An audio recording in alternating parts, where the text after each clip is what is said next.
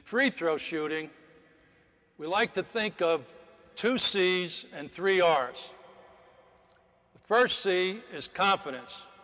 You want to be confident that every time you get to that foul line, you believe it's going in, and you look and act like a shooter. The second C is concentration.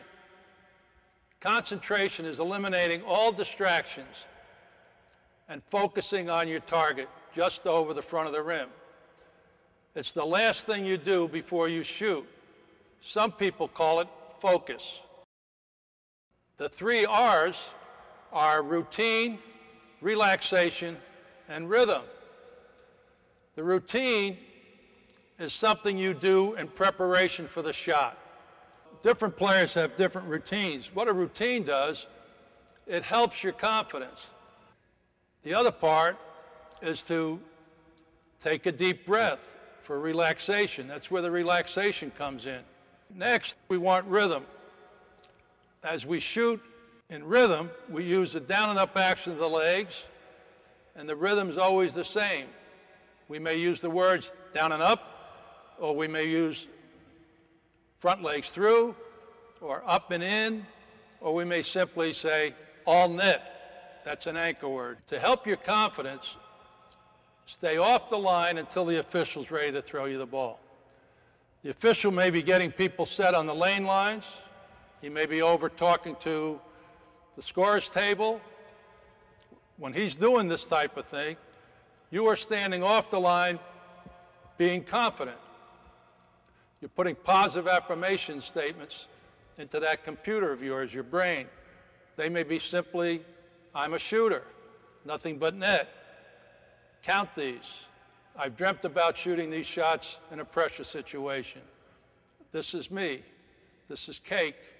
Whatever it is, say those words to yourself with full confidence. All right, now, when the official throws you the ball, you are now ready to do your routine. The first thing we do is we find the nail hole, set our shooting side foot to the right of that nail hole so that we can line the ball up with the basket and not our head up with the basket. The nail hole is directly lined up with the middle of the basket so that they can draw the circle in the foul line to the exact specifications. Setting your foot to the right of that nail hole so that the ball lines up with the basket is part of your routine. There may be other parts of your routine, such as bouncing the ball a set number of times. And find the valve.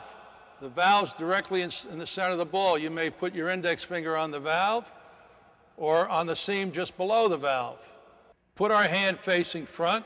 Take a deep breath for relaxation and focusing on your target just over the front of the rim.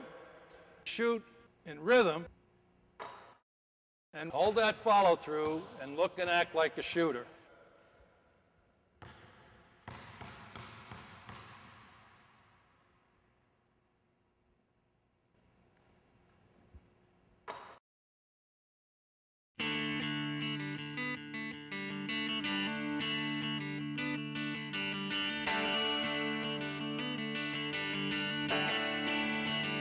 Música